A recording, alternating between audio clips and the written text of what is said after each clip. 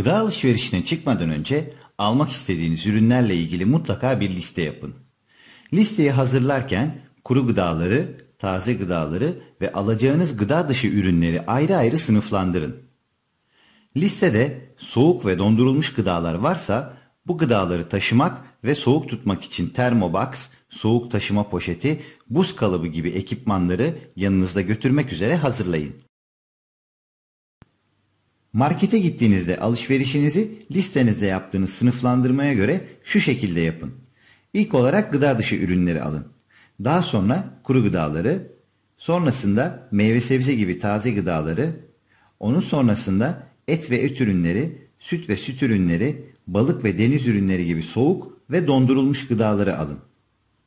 Dikkat ederseniz marketlerin reyon düzeni de buna uygun olarak tasarlanmıştır.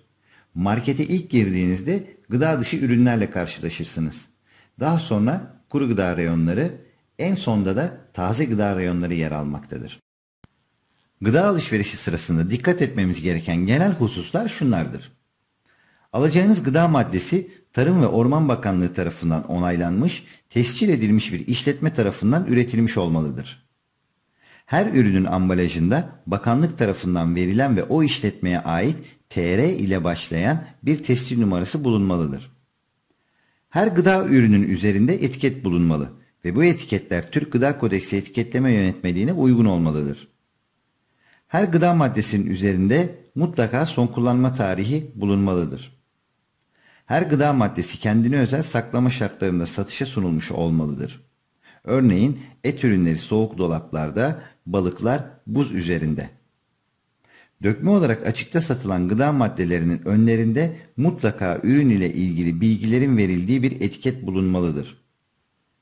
Satışa sunulan gıda maddelerinin ambalajları sağlam olmalı, hasarlı, darbeli, yırtık olmamalı. Satışa sunulan gıdalar ürün özelliklerine uygun, özel olarak tasarlanmış ambalajlarda satışa sunulmuş olmalı. Açıkta satılan gıda maddelerinin satışa sunulduğu ortam ve satışı yapan personel hijyen şartlarını azami ölçüde yerine getirmeli.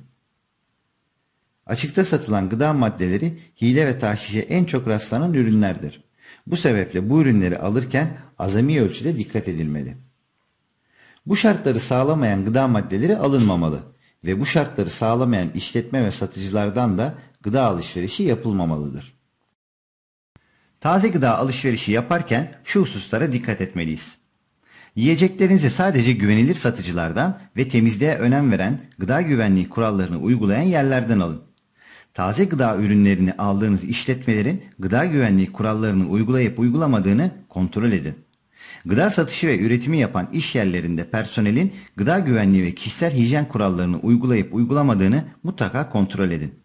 Şarküteri gibi farklı ürün grupları gıdaların satışının yapıldığı yerlerde çapraz bulaşmaya neden olacak işlemlerin yapılmadığından emin olun.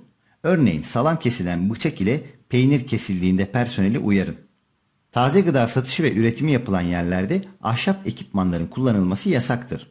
Personel ahşap ekipman kullanıyorsa böyle bir durumda personeli uyarın. Kasap reyonlarında sakatatlar, tavuk etleri, kırmızı etler birbirinden ayrı yerlerde satılmalı veya birbirine temasını önleyecek paravanlar bulunmalıdır. Sakatatlar, tavuk etleri ve kırmızı etler farklı kesme tahtalarında kesilmeli, farklı makinelerde kıymaları çekilmelidir.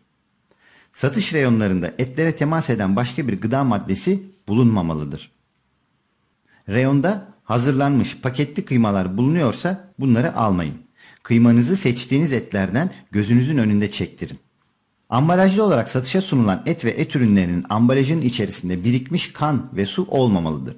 Etlerin üzerinde şeffaf, jelatinimsi ve sümüksü bir sıvı görüyorsanız bu etleri almayın. Bu sıvılar hayvana kesimden önce vurulan veteriner ilaç kalıntıları olabilir. Dondurulmuş kırmızı et almayın. Tezgahta satışa sunulan balıklar mutlaka buz üzerinde bulunmalı ve balıkların üzeri bir miktar buz ile kapatılmış olmalı.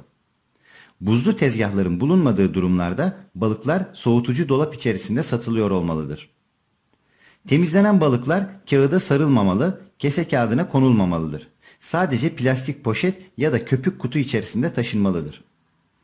Balık satış tezgahı ve tezgah altı temiz olmalı, temizlenen balık artıkları çöp kovasına atılıyor olmalıdır. Temizlenen balıklar kova ya da leğen içerisinde değil, akan suyun altında yıkanmalıdır. Sadece karton kutularda satıcısı belli ve üzerinde üretim bilgileri olan yumurtaları alın. Tezgahta üzeri açık olarak bırakılmış hazır yiyecekleri almayın. Buzdolabı ve dondurucuda satılması gereken gıdalar oda sıcaklığındaki raflarda bulunuyorsa bu gıdaları almayın. Soğuk ve dondurucu gıdaları alışverişinizin sonuna doğru kasadan çıkmadan hemen önce alın. Yiyecekleri taşırken birbirine temas etmesini ve bulaşmasını engelleyin. Yiyecekleri bulaşmayı önleyecek paketlerde ve kaplarda taşıyın. Soğuk ve dondurulmuş yiyecekleri sıcak yiyeceklerin yanına koymayın. Yiyecekleri taşıdığınız poşet, kap, kutu gibi malzemelerin temiz ve sağlam olmasına özen gösterin.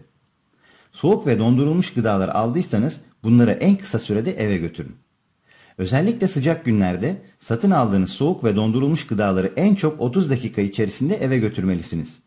Bu sürenin uzayacağını düşünüyorsanız yiyecekleri soğuk tutacak termobox, soğuk poşet ve buz kalıpları gibi malzemeler içinde taşıyın. Sıcak yiyeceklerin ısısını korumak için alüminyum folyo kullanabilirsiniz. Sıcak yiyeceklerinizi de alışveriş sonuna doğru alın.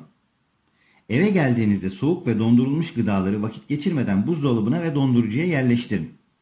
Gıdaların suyunun başka gıdaların üzerine akmamasına özen gösterin.